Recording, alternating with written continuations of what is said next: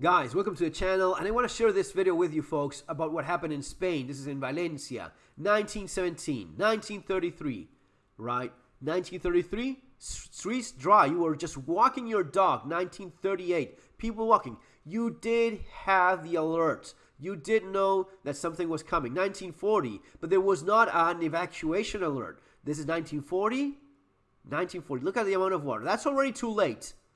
That is already too late. 1950, power is out. 1920, 8 p.m. 20. That's when the alert actually came through.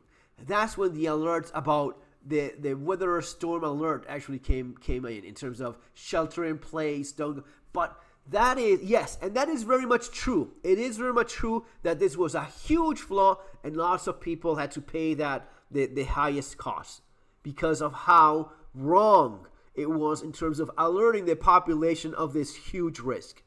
People had to be home already. People had to be sheltering in place, especially maybe going some of the upper floors because it was this was getting very very bad. 1950 28 p.m. That's when they get the the alerts on their cell phones, the emergency alert. But you did have the weather warning days ago. Certainly, the, the previous day, you knew there was something big coming. So this is what I talk about in terms of survival and preparedness. This is what I talk about in terms of getting ready because you cannot count on the government. You cannot count on politicians. It is all on you. You are the one that needs to be prepared. You are the one that needs to look after yourself and your family. Don't don't wait for the government. Don't wait for the politicians. Don't wait for the phones. Yeah, now is no. You knew that there was a storm, a very big storm coming.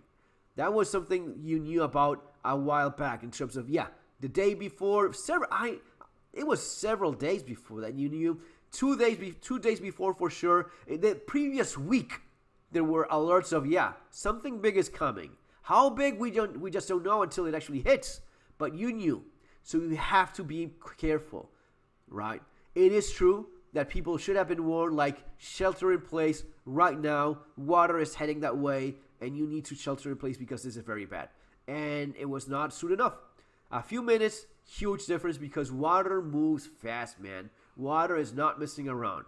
A few minutes later, everything is underwater. Guys, see you on, on our next video. Take care.